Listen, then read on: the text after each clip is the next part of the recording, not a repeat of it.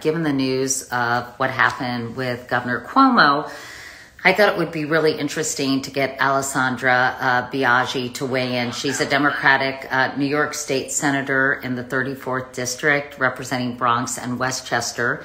And uh, we just asked her to pop in. Hi, Jarrett Keller. We asked her to pop in and kind of give us her reaction and what she's hearing from her constituents. Hi, everybody. Um, and if you all have any questions um, that you want to ask, we solicited some from social media. Um, we'll be glad to try to get them in. And if you have any comments uh, about that Governor Cuomo is resigning in 14 days, feel free to uh, weigh in on the comments. Hey, hey, Senator, how are you? Hi, Katie. It's so nice to see you. I'm doing okay. I'm trying to get my light to be sufficient. I don't know if it is. I'm not in my my own home tonight, but I'm making it work. We're making it work. Great. My um my little ring light broke, so I'm making as this is my ring light. But what are you going to do? And thanks for joining us. We're not going to do a long, drawn out thing, but sure. I thought about you as soon as I heard the announcement late this morning that Andrew Cuomo was resigning and I'm curious what your immediate reaction was when you heard the news, because certainly the press conference uh, didn't appear to be uh, one in which he was announcing his resignation. It came as a bit of a surprise, I think, to people in terms of how it was framed. So, what did you think when you heard that? I mean, I was shocked because uh, it didn't, to the point that you just made, it didn't seem like that is what he was announcing at all, especially because it was preceded by his attorney, who was really talking a lot about his defense and also the fact that you know these allegations were not real or true and so it was it was confusing and also shocking and I think that as the day has kind of worn on and, and time has kind of gone forward here, I think it's made me feel two very real emotions.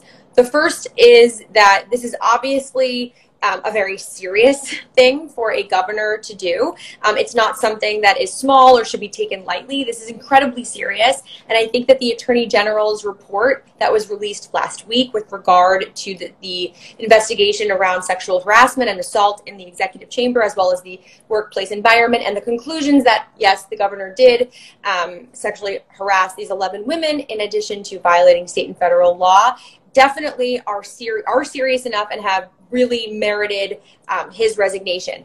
However, I think that, again, just thinking more about it, there was no um, moment in the press conference where there was an accounting for the behavior. There was another um, moment where he talked about culture and generation and how these are things that really are lost, I guess, on those 11 women, which I can say personally, I'm not speaking for anybody else, um, I think really was not right. And, pro- and part of the reason why I think that what he was saying was not right or accurate or true is because he talks about boundaries and how he didn't realize that the boundaries had moved.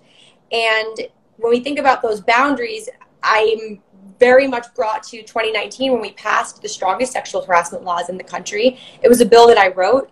It was a bill that he signed and that he championed. And so he knew the boundaries. And so I, I just, I didn't find it believable. And I think that that's a very um, unfortunate thing. At the, at the same time, this is an opportunity for New York now to be able to move forward beyond what we have all lived through now for almost 18 months with regard to it's not just this report right? It's with regard to covid and the response to covid in that administration.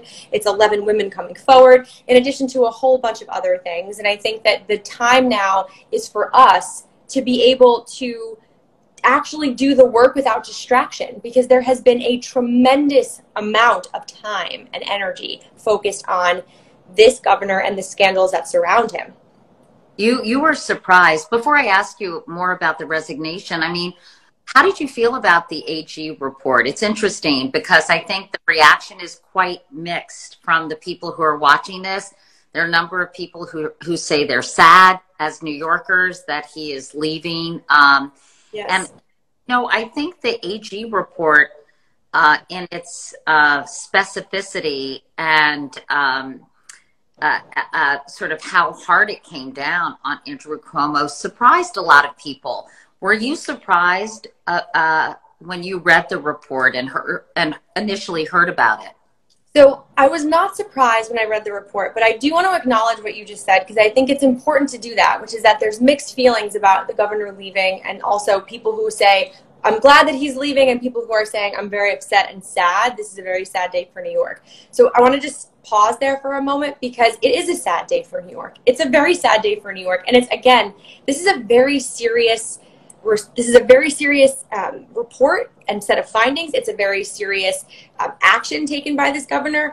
And the reason that we're in this position and moment is because of the behavior and the actions of our governor. And that might be a difficult thing to hear, and it might be something that you don't want to accept as truth. And I understand. I can absolutely understand that. And also, I think that the Attorney General's report, when I read it, I was I was again, I, I wasn't shocked in the sense that the things that were found, right, violating state and federal law, sexual harassment, retaliation um, amongst not only um, himself but also those who work in the executive chamber. Those are things that we have heard about for a long time. And as a former staffer in the executive chamber, it's something that I lived through. I understand it. It's an experience that I I worked in. And so I understand and I knew that that was already true because I lived it. However, I think the most important part of it was that the women who came forward were found to be telling the truth. That is a significant and important finding. And also, it's important because sexual harassment is something that is oftentimes brushed aside or swept away in Albany. It's something that has been hidden, it's something that you don't talk about. And this is a moment where we're saying, no, this is something that's risen to the surface. There's clear facts, corroborating evidence. These 11 women who have given their testimony, it's not just their testimony, it's corroborating evidence. It's 70,000 pages of documents, it's 200 interviews, it's 41 of those interviews under oath, and a whole bunch of other evidence in the appendices of the report that just showed the thoroughness that these investigators engaged in. And so I feel a confidence in the process. And I also want to just remind everybody that this is a process and an investigation that Governor Cuomo requested himself. He asked for this to happen.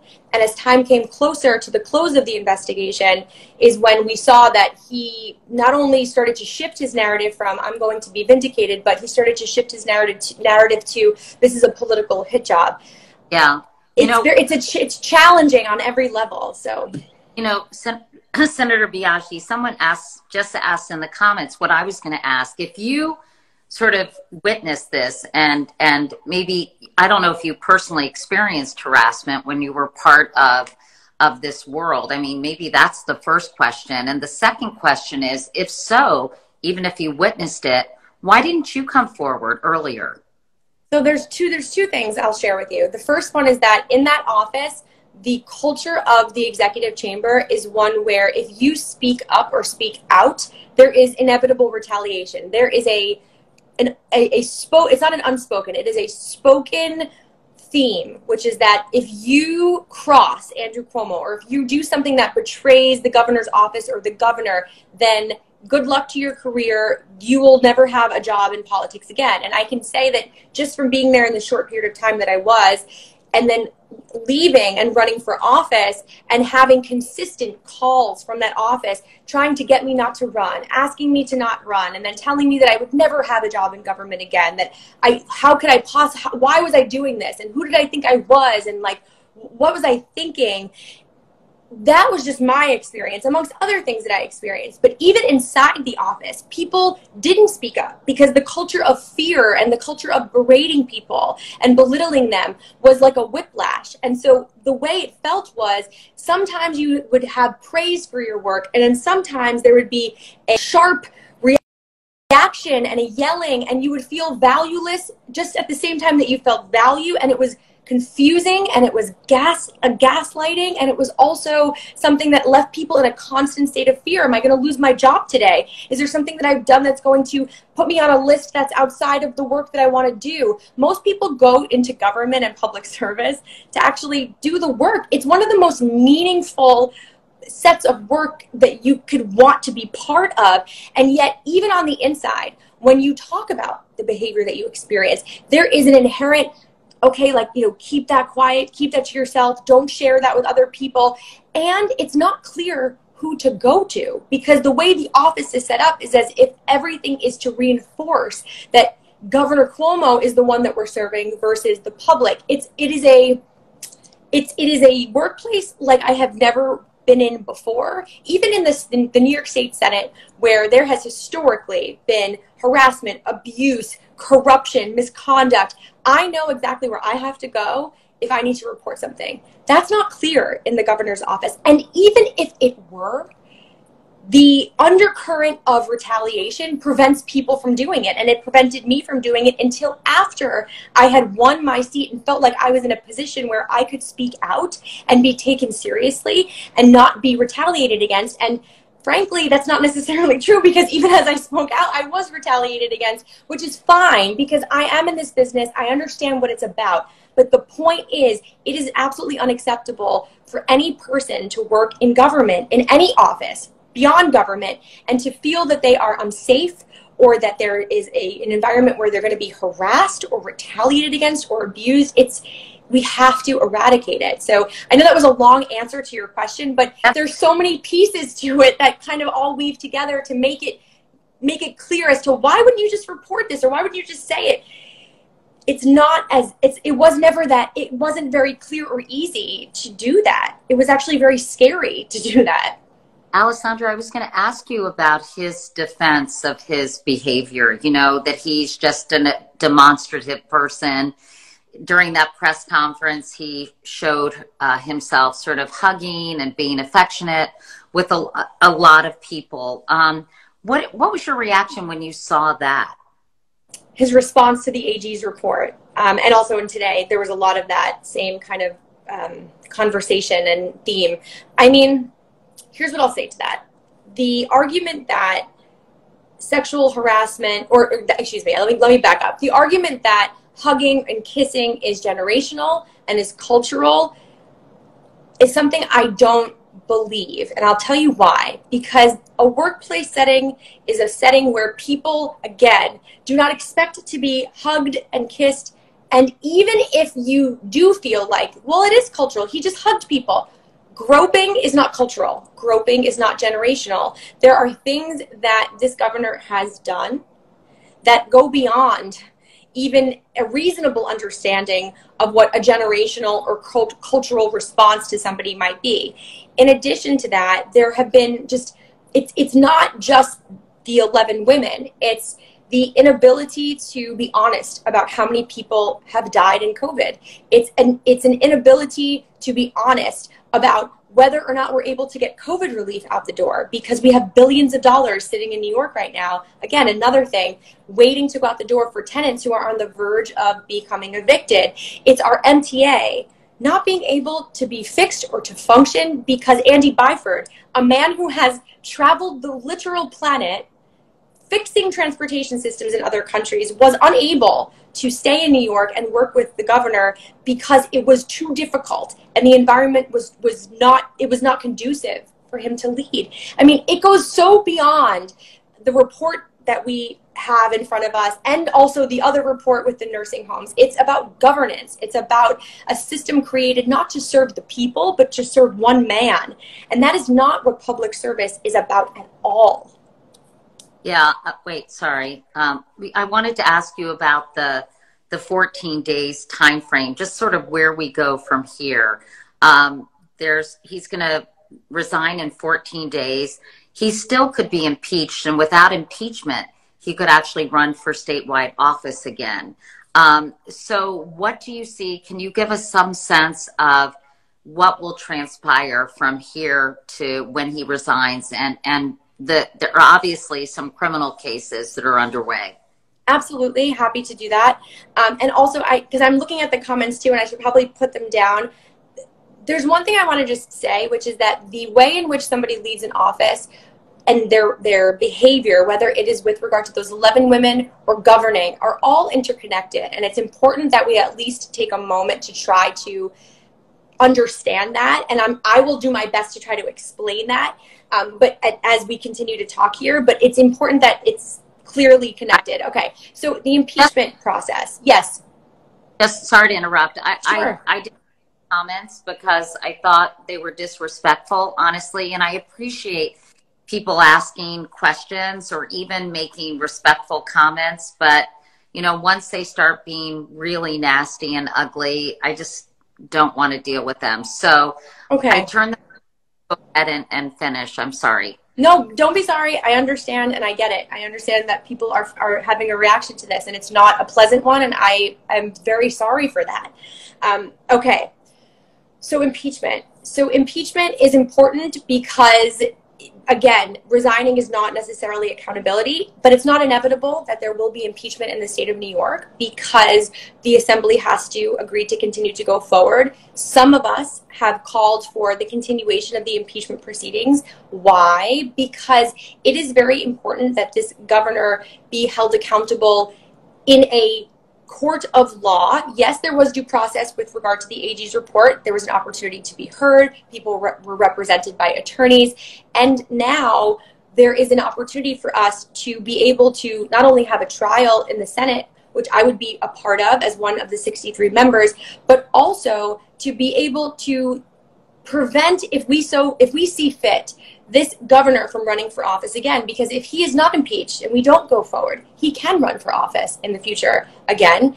And I don't believe that he is somebody fit for public service anymore. Now, I'm one person, I'm one voice. I represent 330,000 people, and I try my best to think about what I would want for them every single day. And so that's what's informing my decisions. Other people might disagree, but I think, think that today there is an overwhelming consensus that this is somebody who has really lost his way, who has abused his power and is not able to serve today or in the future. But without impeachment, he can run again. And so that's when someone asked exactly what the grounds for impeachment would be specifically. So the um, the legal uh, terminology for it or the legal standard for it is um, willful and corrupt misconduct. It is a very broad standard. It is not like in the United States um, Congress where you have high crimes and misdemeanors. It's very broad. In New York State as well, our impeachment statute is also is also very broad. And so we have work to do as a legislature to make that law very clear and to make it as fair as possible.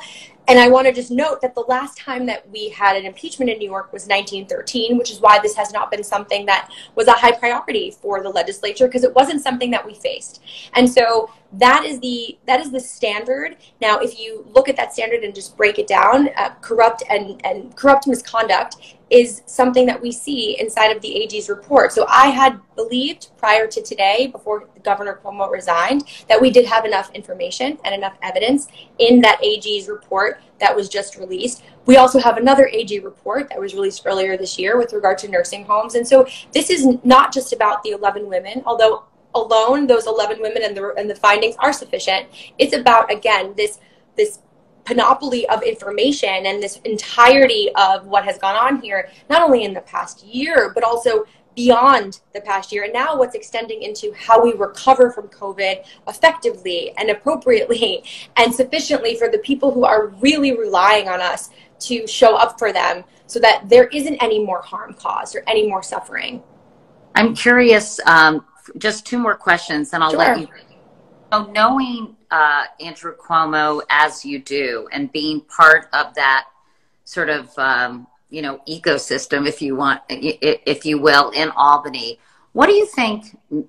I'm sure he consulted many advisors, his lawyers, etc. But what do you think prompted him to make this decision? You know, do can you? Um, I mean, this is such a speculative question, but can you imagine sort of how he weighed the pros and cons and why he made this calculation. Okay, so I have two things that I, two reasons I believe caused him to resign. One of them is, both of them are speculation because I don't know for sure, so I want to be very clear about that. Um, one of them I think is more possible. The other one is, if I had to take a cynical slice on what's going on, that is what that would be. So the first one is that I believe he resigned because the assembly was getting very serious with impeachment. Now, if we still move forward with impeachment, that would obviously not be a rational or reasonable understanding of why he resigned. However, I think that because it started to feel real, like we were moving forward, that perhaps he wanted to avoid all of that and make it go away. And why I can say that with confidence is because in his press conference today, he actually had a set a section of what he said, which was we don't want to waste state resources and time on an impeachment trial because we have so much to do in New York, which is actually the argument that many of us have been making because we have a lot to do with regard to COVID relief and COVID recovery that hasn't been able to get done, not necessarily because we haven't wanted it to, but because the governor has been unable to actually follow through on COVID relief and recovery. Okay, so that's one. The second, more cynical reason I could probably come up with, which I've been thinking about a lot today, is that I think that he is trying to make his legacy not about this report, not about him resigning. He is trying to make it so that he appears to the public as if he is the victim and he is innocent and that this was a political attack. And why I can say that and, and feel some kind of confidence in that, even though it is cynical, and I will admit that right now to you, is because his his attorney, Rita Glavin, spent the first 30 minutes of the press conference essentially giving a defense of Andrew Cuomo. So again, I can't say that either of these things are real or true, but I can say I think that the first one is definitely something that is possible. And I think that only time will tell because if we do move forward with impeachment, I think we might see a very different response um, from the governor. But I do believe that him resigning is, is in hopes that we will not move forward with impeachment. But it, it, you believe that you will move forward with impeachment, that he will be impeached, or um, or do you think that people will say, you know, he's he's resigning, this is a waste of time and resources, and kind of validate the argument his lawyer was making? I think that the first first this is a decision that the assembly is going to have to make very soon and and really account for. But I I am not confident that we're going to move forward with impeachment. And I think that for me, that is that's a hard truth to take in, but it's one that I can understand. Even though I do believe that we should follow through with this, because again, this is this is only one part of accountability. It's not the full part of accountability. And I think that having a trial will allow the public at least to have a window into a defense, the case, more evidence, witnesses, but the only time will tell from the you assembly. Don't think, you don't think the AG report, Alessandra, does that pretty thoroughly? Oh, Katie, I think the AG report was sufficient on its face and its findings to be able to the next day draft the articles of impeachment. I thought that was sufficient. It was evidence, it was corroborated, it had a ton of appendices and emails and information there to show that the findings of violating federal and state law, retaliation, and toxic workplace were present. I thought that was sufficient to draft the articles and let a trial begin. The assembly no, has taken a no, different approach. You misunderstood what I was oh, saying. I was please. Reading the AG report. Um, isn't that enough for the people of New York to realize um, that this was was bad in all these arenas and to spend the time and energy and resources where it might distract and by the way i'm not advocating either totally. way i'm just advocate just so people can kind of really get even a greater account of what transpired or that you know what he did as governor um, you know i'm just saying isn't the ag report enough evidence on its own and enough for people to understand what was going on? I think it is sufficient for people to understand what's going on if you if you read it and you actually go through and see that the findings are substantiated. There's a lot of information to make each conclusion in each specific case. But that's it's just findings because the AG's report is not a it's not a, a filing of a claim. It's not a set of sentencing. It's not sending the governor to jail. And just to be very clear, an impeachment trial does not, we don't have the power as a legislature to send a governor or anybody who's impeached to prison or to jail. It is a way that we can, one, remove somebody from office, which clearly we do not need to do now. And two, make other decisions like preventing yeah. someone from being able to run for office in the future or preventing somebody from receiving information or, or excuse me, money from a pension. Again, there's a lot of other things that go into an impeachment. It's not just the removal from office. Well, um, what do you think will be in his future other dealing with some of these legal issues and potentially, uh, you know, a, an impeachment? I mean, I, what I hope would be in his future is that this is a moment for him where he can start to take accountability for the harm that he's caused and really un- internalize it and really understand it and really think about how his leadership and his power has frankly harmed a significant number of people. I will say though, because I think it's it's a very important thing to say, because it what it sounds like for me, I'm listening to my own self speak. Obviously, what I sound like is that it's all negative, it's all bad. He's terrible inside and out, and, and nothing that he's done is good. It's not true. There have been things that he has done that are great for New York. The problem is that when you're in a position to serve people and you're in a position to really put the needs of others first, and you're in a position of power as great and as significant as the governor of, a, of any state, but especially a state like New York, your responsibility is to make sure every person around you is safe, every person around you is respected, every person around you is not only given what they need to succeed, but also that the culture you're creating from the top down is one that fosters a workplace that is able to then be put into play to serve people in the highest capacity possible. And that is where he has gone wrong. And so, again, I just, I hope that this is a moment of reflection for him. And I hope that it's something that he can learn from. But I, I'm not sure that it will be. And I think that's part of what's tragic because I do think that someone with as much power and privilege and opportunity and intelligence as he has and has shown the world to have it's mm. tragic when it ends this way. It's it is. It just is. And i think that we have to be honest about that too. Two more people two more women reportedly contacted the the state ag's office after the report was released. Um, do you know any more about these claims by the additional women yet?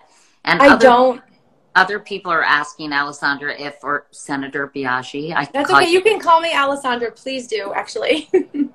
are asking if he'll face criminal charges. Now, we know that his executive assistant has already filed criminal charges. As far as I know, that's the only individual who has done so. Um, do you expect others to follow suit? It's very possible. I know that Lindsey Boylan has, file, has filed a civil claim for retaliation, which is one of the findings. Um, after she came forward, there was and this is in the report, there were um, many people who came together to try to undermine Lindsey Boylan's claims, which were ha- which were found to have been true.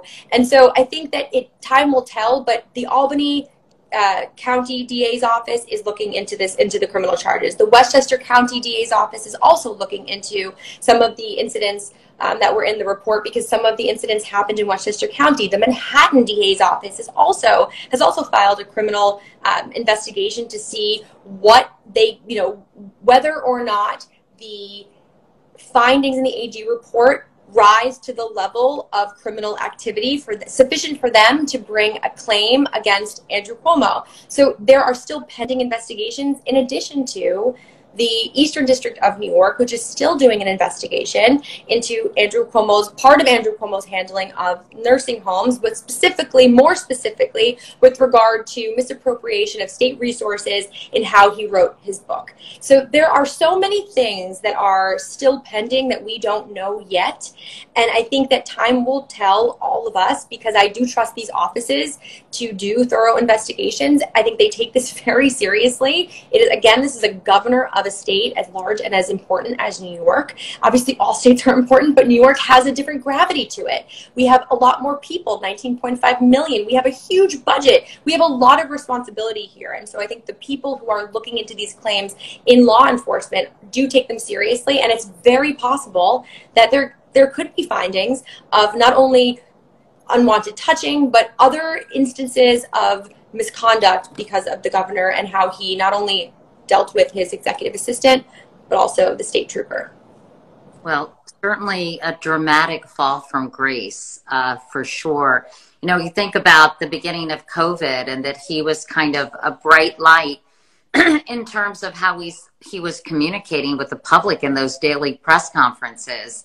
And, uh, you know, it just it, pretty astounding to see what transpired in just a little over a year and how he went sort of from hero to zero.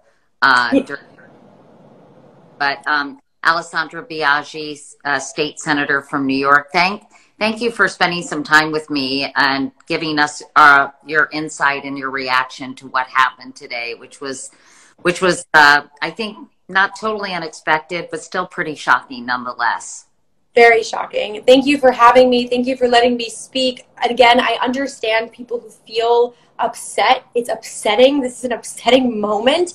Um, and I hope that we can just take this moment and see it as a moment of opportunity to have our first female governor, Lieutenant Governor Kathy Hochul, will become the governor of New York. That's a very big deal. And now we need to support her leadership. Thank you for mentioning that because I feel the first female governor of New York. And what do you know about her and what do you see? for the future of New York and and uh, you know and and and beyond her you know her filling in now and becoming the interim governor. Um, thank you for letting me have an opportunity to say this because I think this allows us to end also on a positive note, which I think is important in this moment. Um, Kathy Hochul has, has not only been the lieutenant governor um, for the past many many years many years now but she was also a member of congress she lost her seat um, in i believe it was 2016 no excuse me 2008 i believe because she voted in favor of the aca so this is somebody who clearly does have integrity and has used that integrity to serve the people who put her there. But she's also somebody who is a hard worker. She's somebody who has really put forward her her desire and her um, her focus on getting women elected to office and making sure that women are not only um, in government but also in other spaces like boardrooms and in non-for-profit organizations. She's focused on getting women into rooms where historically they have been left out. And so I think that she will be a tremendous asset to New York. And it's not only for me, but I am encouraging all of my colleagues to lift her up because she will need support. It's a big job to be the governor of New York. And the road ahead is one of COVID recovery. It's one to make sure that our budget next year is going to be balanced and also responsible. It's one where we can actually make sure that we are reaching our highest heights and New York is thriving. And I I really do think there's opportunity here that we couldn't see before because it was clouded by so many things. I think that she will be a tremendous governor and we should give her a chance and an opportunity. And obviously, this is a democratic society in a democratic state where the, the, the process will play itself out. But the point is, I think that she will do an excellent job, and we have to give her an opportunity to do it. Well, maybe you can get her to do an interview with me. So I, I, think I'm sure that she would love to do an interview with you. I, I, will definitely pass along the message. I would love to, to, to meet her and talk to her and, and talk about her vision for New York in the future. Thank you so much. Um, Thank you. you and I really appreciate your time. And thanks everyone for watching. And, um, you know, I'm going to post this on my Instagram. Love to hear your thoughts. And it'll be featured this week in Wake Up Call, my morning newsletter. And you can sign up by going to katiecouric.com. I know Senator Biaggi reads it every morning. She is very excited to get it box. I'm just, I just made that, but hopefully she does read it. it's true. It's actually very true. Thank you, Katie, so much. Thank you. Be well.